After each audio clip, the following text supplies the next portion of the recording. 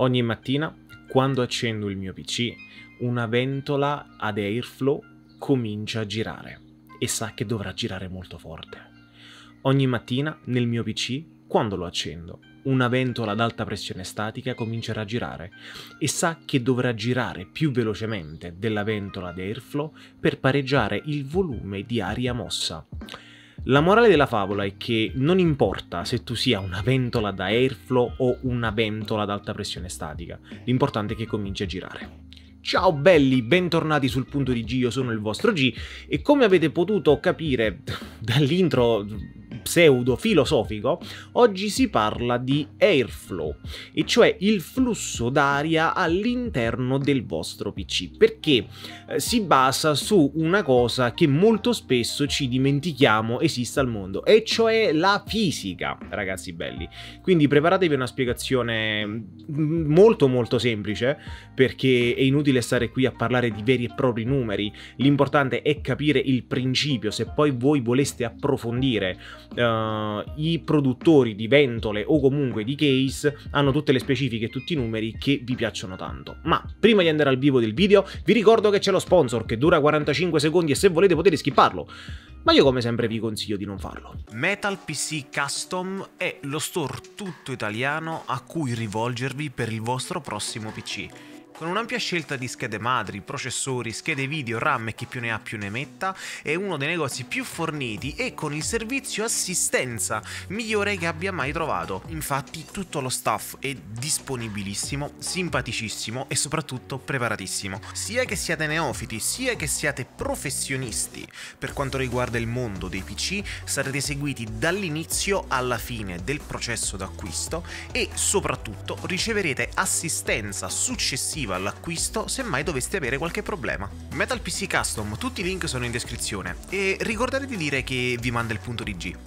Airflow, airflow, airflow, dall'inglese flusso d'aria. Allora, allora, allora, partiamo subito con l'analizzare uh, delle cose che dovrebbero essere elementari, ma che molte volte noi dimentichiamo di aver appreso nel nostro percorso scolastico, ecco. La prima legge della termodinamica dice che un corpo più caldo cede calore al corpo più freddo fino a raggiungere l'equilibrio termico. Avete presente quando in inverno ci sono i riscaldamenti accesi in casa, uno apre la finestra e un altro dice eh, chiudi la finestra che entra freddo. Non è così, non è il freddo a entrare, bensì è il calore a uscire, perché in quel caso il corpo più caldo è la massa d'aria calda all'interno della stanza, il corpo più freddo è l'aria che c'è fuori e quindi Uh, beh, sì, si cedono calore fino a raggiungere l'equilibrio termico che purtroppo non può esserci perché l'aria uh, presente fuori è svariate, penso, mil svariati milioni di migliaia di volte in maggior numero rispetto a quella nella vostra stanza, quindi capite benissimo che è uno scontro impari. Nel vostro case, uh, beh, avviene un fenomeno molto molto interessante, e cioè si viene a creare un vero e proprio flusso, perché l'aria per circolare in maniera agile, appunto, deve creare un flusso aiutato dalle ventole presenti nel vostro case. Nel mio case ci sono ben due ventole sotto, 4 qui di lato, quindi siamo a 6, e 3 ventole del dissipatore su, quindi ci sono 9. Ce n'è una qui che è il dissipatore del secondo PC, ma in questo momento è spento, quindi non lo terremo in considerazione. Come funziona il flusso d'aria all'interno del mio case? Allora, ci sono 3 ventole in intake, quindi 3 ventole che succhiano aria dall'esterno verso l'interno, tre ventole che da sotto di nuovo buttano aria dall'esterno verso l'interno del case e quattro ventole che buttano aria fuori. Adesso voi direte, G perché è così? Allora, perché ci sono praticamente in totale tre flussi d'aria, quattro se vogliamo contare quello della GPU, perché la scheda grafica eh, prende aria fresca da sotto, ok?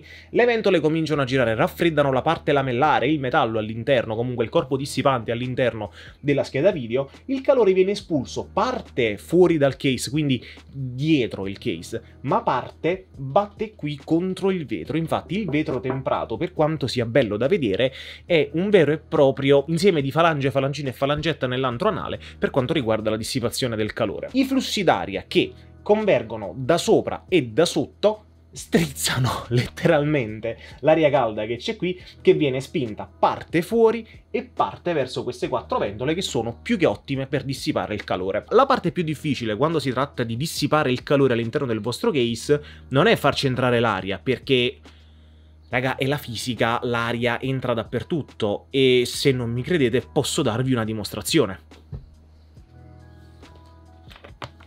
Molto semplice.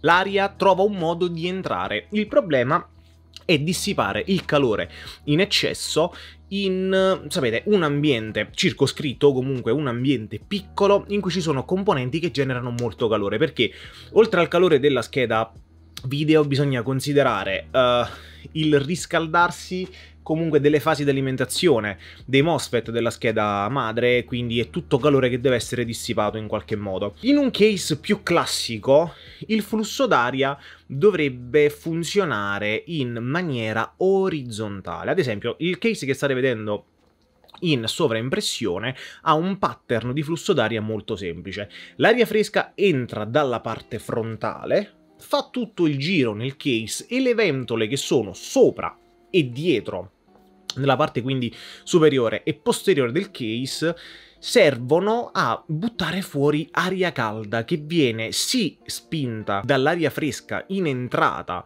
delle ventole, ma che essendo di per sé più calda tende a salire e quindi viene facilmente dissipato o comunque buttata fuori dalle ventole, come ho detto, nella parte posteriore e superiore del vostro case.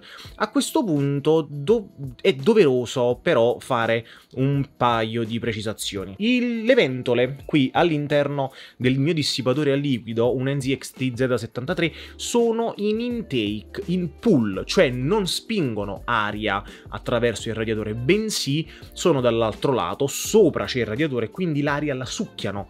Perché questo?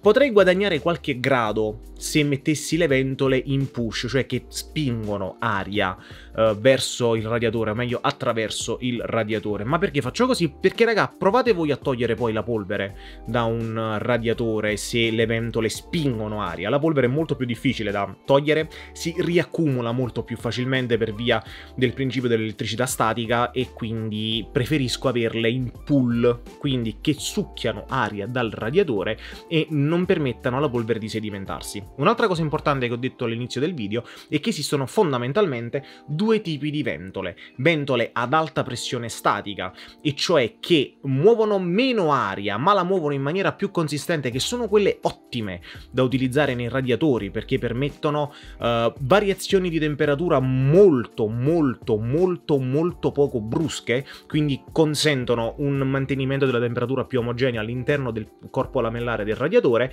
ed esistono ventole per airflow airflow. Le ventole per airflow muovono un maggiore flusso d'aria, lo muovono in maniera non così precisa, non così costante, ma sono quelle ottime per, um, beh, ecco, muovere il calore in eccesso all'interno del vostro case. Esiste una distinzione talmente grande da non lo so, farvi dire, oddio, se metto adesso una ventola ad alta pressione statica al posto di una ventola airflow non, si, non muove abbastanza calore all'interno del case?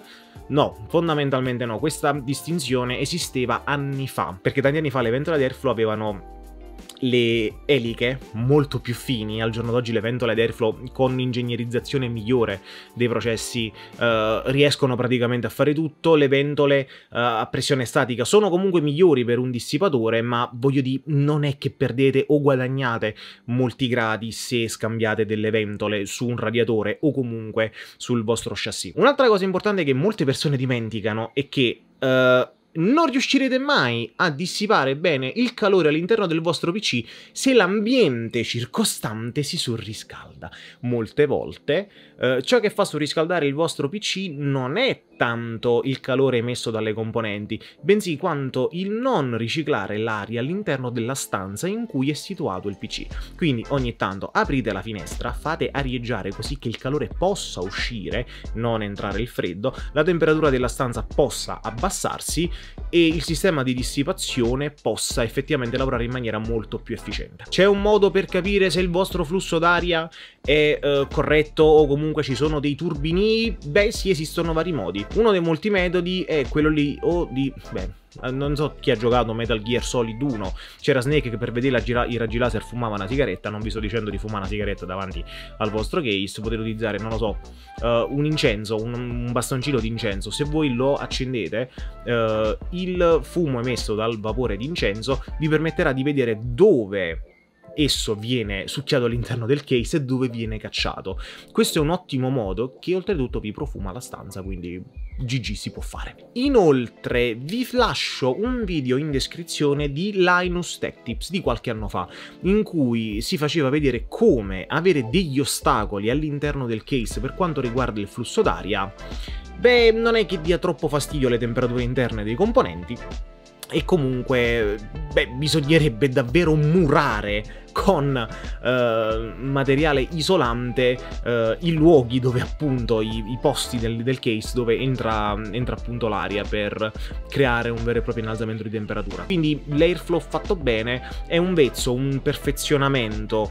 Fatto sta che è meglio che il calore prodotto specialmente dalla vostra scheda video esca fuori dal case piuttosto che rimanga all'interno. Non so chi ricorda le schede video Nvidia della serie 1000 con il dissipatore blower style. Era una ventola che praticamente al posto di buttare calore all'interno del case eh, raffreddava la GPU e lo buttava direttamente nella parte esterna del case. E questa cosa è molto utile specialmente per chi utilizza dei server e utilizza varie schede grafiche una sopra l'altra mm, perché appunto il calore non rimane all'interno del case bensì viene buttato direttamente fuori. Ogni ventola funziona abbastanza bene per fare quello che volete fare. Ciò che differenzia una ventola chip da una ventola premium sta nella rumorosità della ventola, perché una ventola che gira a RPM più alti, quindi round per minutes, a velocità più alte genera più rumore. Ottime marche per delle ventole che hanno un'ottima pressione statica, un ottimo airflow, un'ottima rumorosità possono essere Noctua, Lian Lee, Corsair, NZXT, Be Quiet. Ne ho dimenticata qualcuna? Fatemi sapere voi che ventole avete nel vostro PC. Eh? Sono abbastanza interessato, davvero. Detto ciò, ragazzi, um, un ottimo flusso d'aria è soprattutto indicato per chi ha un dissipatore ad aria all'interno del case, perché l'aria fresca in entrata aiuta appunto le ventole presenti sul corpo lamellare del dissipatore a raffreddare meglio la CPU. Quindi questo è ciò che dovete sapere riguardo l'airflow nel vostro case. Uh, fatemi sapere voi cosa ne pensate lasciandomi un commento e ricordate di mettere un mi piace, iscrivervi al canale e accendere la campanella per rimanere sempre aggiornati sui video del punto di G e ci vediamo alla prossima con non so che cosa, ma sicuramente con una nuova scheda madre e magari la recensione di una scheda video interessante. Grazie mille per aver seguito il video e ci vediamo alla prossima, sempre qui sul punto di G, sempre qui col vostro G. Ciao ciao belli. Ciao.